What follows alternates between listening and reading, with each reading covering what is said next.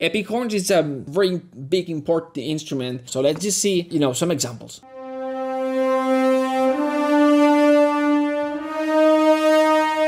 So usually what I do is a combination of these 12 horns plus 4 horns plus 1 solo horn. And sometimes on top of that I add like an sforzato horn patch. My particular one is 12 horns is here. Here's the Albions, horns and trombones, but I filter trombones so you can hear a little bit of that. I sometimes have a very soft trombone in here just to add a little bit of that timbre that I wanted. Horn section marcato, this is a 4 horns marcato, sort of like for sforzato type of thing, something like this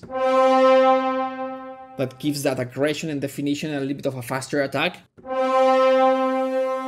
See? This is me getting to know my libraries and how I build this specific instrument, this patch. 80% of the sound is this 12 horns patch.